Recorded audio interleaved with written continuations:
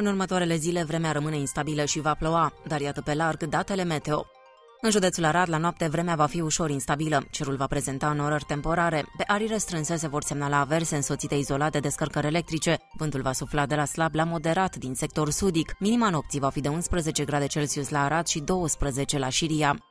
Mâine vremea va fi în general instabilă și se va răci. Cerul va fi mai mult noros ziua când pe arii extinse se vor semnala averse însoțite de descărcări electrice și intensificări de scurtă durată ale vântului, care vor avea și aspect de vijelie. Izolat vor fi condiții de grindină. Cantitățile de apă cumulate vor atinge și depăși local 25 de litri pe metrul pătrat. Noaptea, aria precipitațiilor se va restrânge. Vântul va sufla de la slab la moderat din vest cu intensificări temporare. Temperaturile maxime vor fi de 13 grade Celsius la Șiria și 15 la Arad. În Caraș-Severin, la noapte, vreme ușor instabilă. Pe arii restrânse va ploua în aversă. Vântul va sufla de la slab la moderat din sector sudic. Minimele vor fi de 10 grade Celsius în stațiunea Băile Herculane, 11 în Reșița și Caransebeș și 13 în Oravița.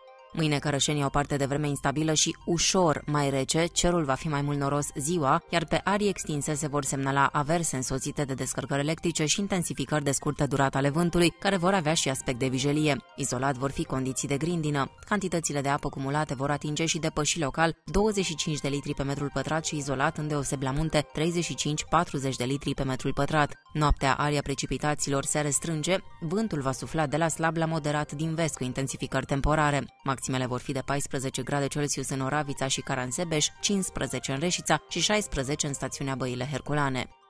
Și în Timiș, la noapte, vremea rămâne instabilă. Izolat vor mai fi averse. Vântul va sufla de la slab la moderat din sector sudic. Temperaturile minime vor fi de 10 grade Celsius la Sân Nicolau Mare și Jimbolia și 11 la Timișoara și Lugoj.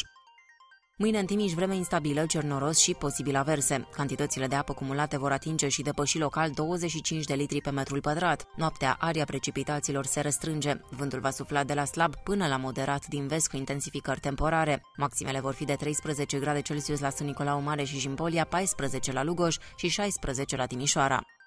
La noapte în Timișoara, vreme instabilă și este posibil să plouă. Vântul va sufla de la slab la moderat din sector sudic. Minima va fi de 11 grade Celsius.